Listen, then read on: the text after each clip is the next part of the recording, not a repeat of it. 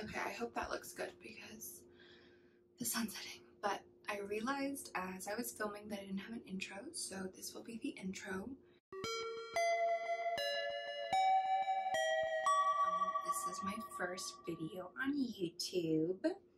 So it's very janky and I definitely don't know what I'm doing, but now that I'm editing, I'm making notes. So just want to say thank you for watching. Um, this video is going to be a combination of like two days hiking, looking for mushrooms, not really like filming mindset. So it's just kind of like a lot of random clips. Also, now I realize like filming, you have to film horizontally because vertically is like, doesn't fit. So some of the clips are vertical, so sorry about that.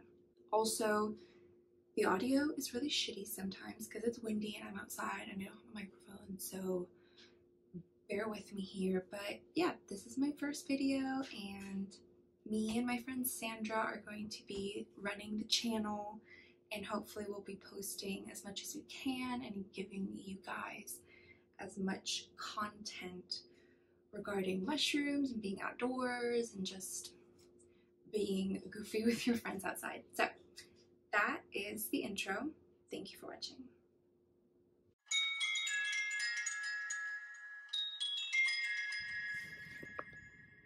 Hello.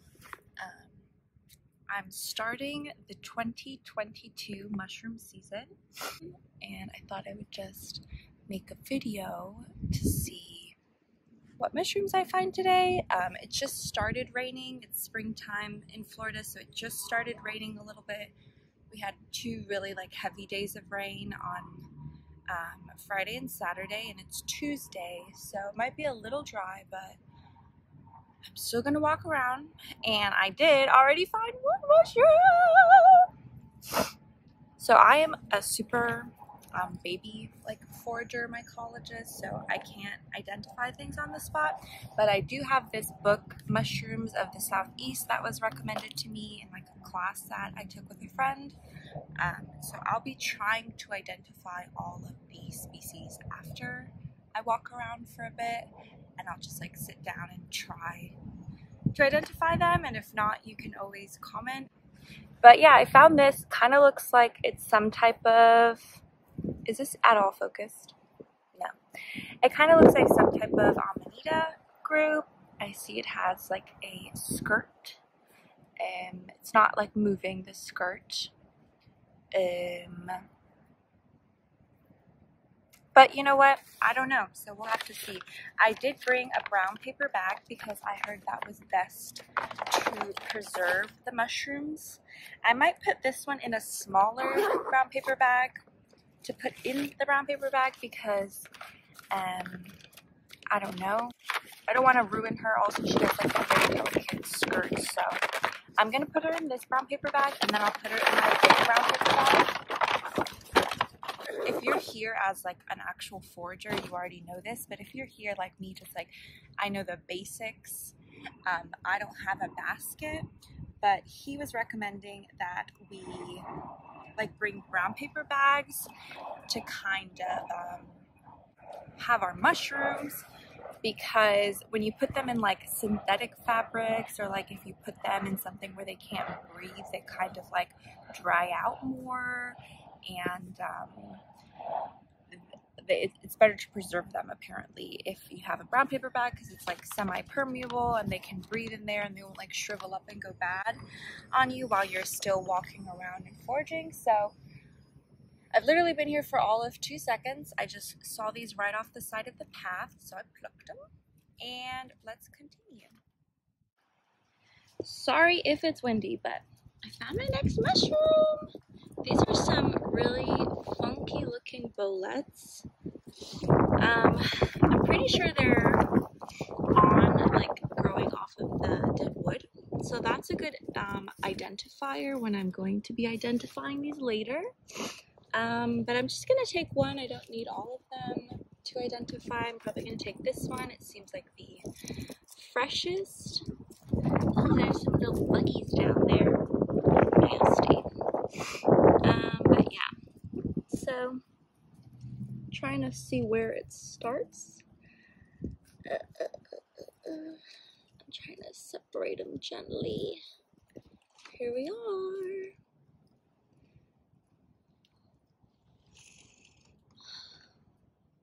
Nice. That's a really good one. Okay, so this is the mushroom that I saw right over here. If you can see that. And I've seen um, like a variation of this mushroom, but not this one.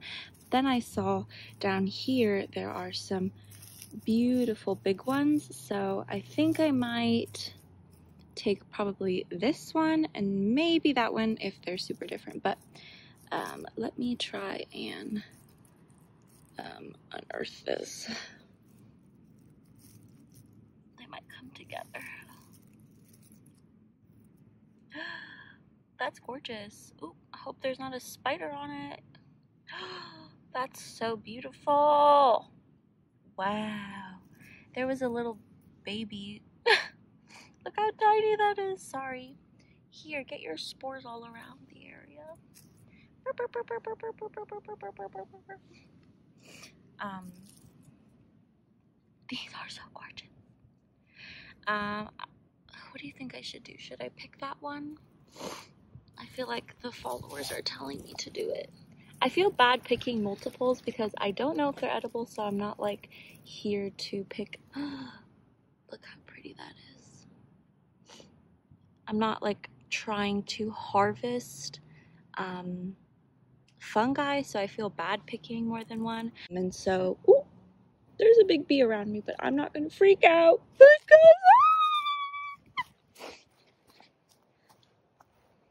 I said I wasn't gonna freak out, but I freaked out. Oopsie. Back to the mushroom. Look how pretty those are. Um, basically, sorry, the mushroom is the fruiting body of the larger organism underneath, which is the mycelium, which is like the white rootish system that kind of interweaves the forest together. And so, like, a comparison would be that the mushroom are like the apple of an apple tree, like it's just the fruit that they produce. And obviously, picking an apple from an apple tree doesn't hurt the apple. And that's like kind of what it's for. It's for you to pick. Um, so it doesn't hurt the organism at all. And it's actually kind of beneficial because when you pick mushroom, you're actually, you know, in the act of picking and disrupting the mushroom, you're actually releasing a lot of the spores that probably would not have been released if it was just like living its stationary lifestyle and not getting picked. Um, and that's also partly why we use like semi-permeable, breathable containers to hold them in, like a basket or a brown paper bag or like a mesh bag or something like that. It's because as I am walking around the forest looking for other mushroom, their spores will go farther than they normally would have by themselves and they'll be able to, you know, produce more mushrooms and grow farther than they would have in different places. So, um, also, I think I'm just gonna pick this. Sorry, guys, but they're just too beautiful. And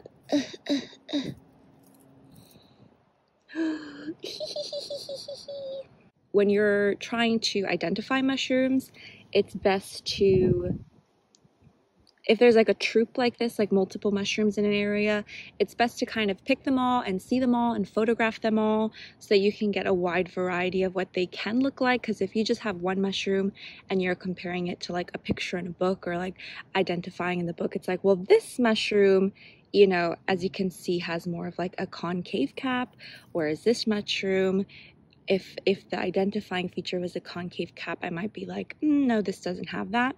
Um, so just something to think about. Ah, look how pretty. Okay, I'm to continue. This really gave me a boost of confidence. I found this beautiful little mushroom. Um, it's just like a, some type of um, bracket fungus that's growing, but it's growing on palm, which is significant. Also, this is what I was talking about, sorry, with the um, pine needles, like they'll just grow around the pine needles. Do you see that? From my opinion, correct me if I'm wrong, the edging here looks brown to me. I know if the edging is white, that means that it's still growing, but for me, that looks like the edging is brown. So I think it's done growing and I'm gonna say that it's okay to pick. I'm going to um, harvest it. Oh gosh, oh gosh, oh gosh, oh gosh. it's tough, tough, tough.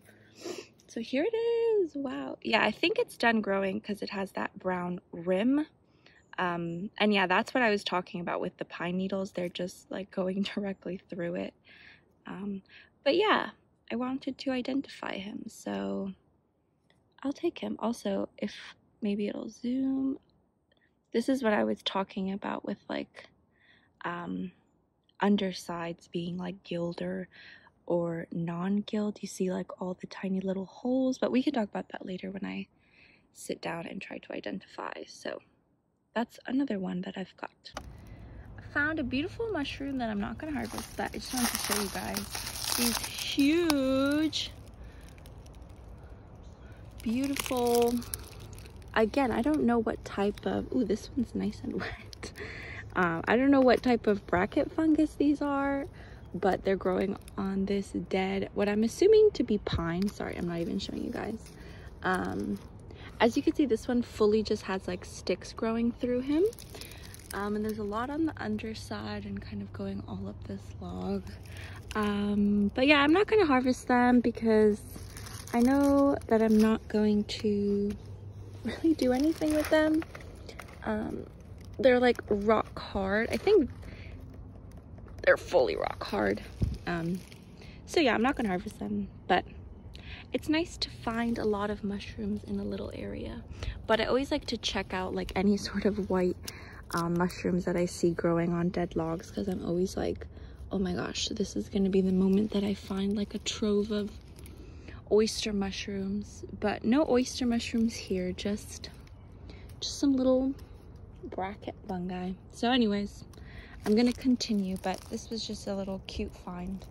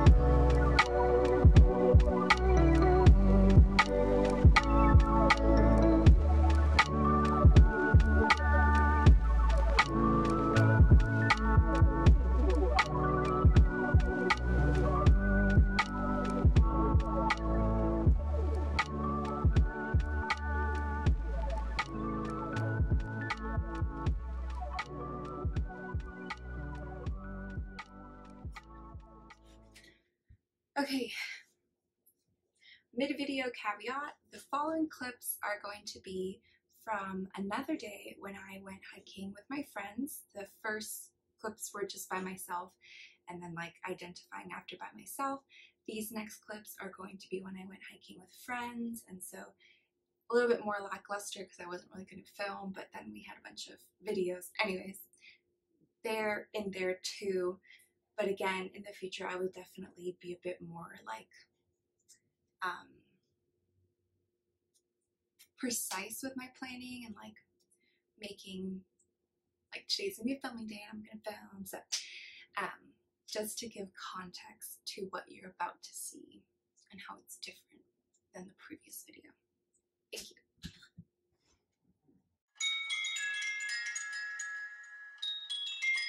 your Wow.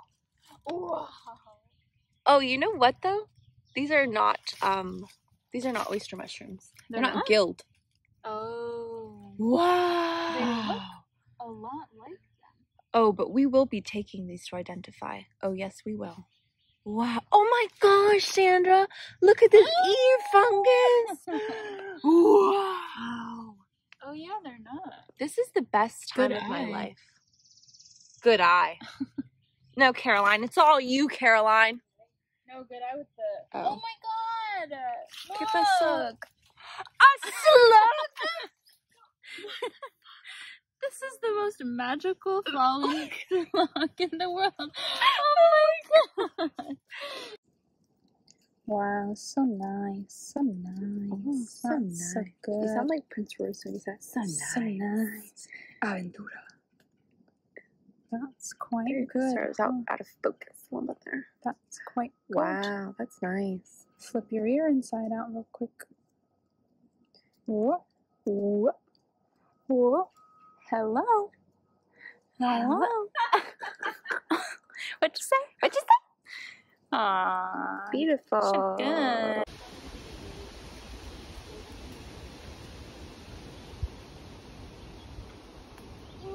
Woo! Playing music on the trail. No respect. No respect. I get it to some extent, but at the same time, I'm like taking one for the team, Sam. What is it? Mushroom.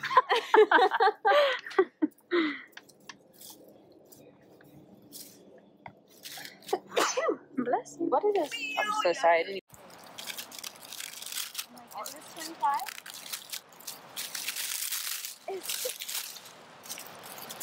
wow. Oh. Ooh. Wow. She's beautiful. Wow.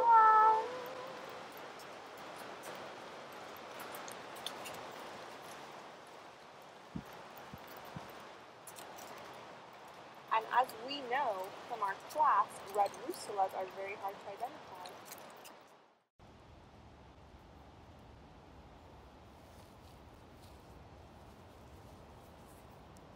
Wowie.